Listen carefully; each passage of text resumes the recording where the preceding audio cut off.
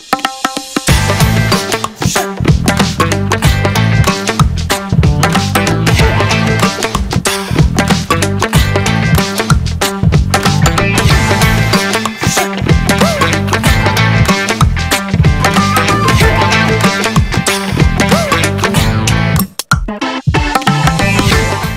Hello, uh, my name's Ian McKay, came from Ireland. Couldn't recommend this place enough. Found out about Hair of Istanbul due to a mutual friend who's also been here. I'm 24 years old and started losing my hair, well, I don't know when, probably since I'm about 18.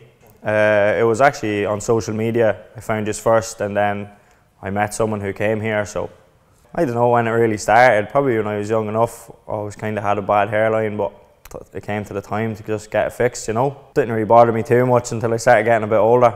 10 out of 10, yeah. Couldn't recommend it enough. Like, no worries at all coming over. Looked after very well, so no complaints. Not really, no. I have to say it was mostly painless, in fairness. Maybe the first two, three injections, you might feel a slight pinch. That's about it. Maybe 5 out of 10 pain-wise, and then after that, 0 out of 10.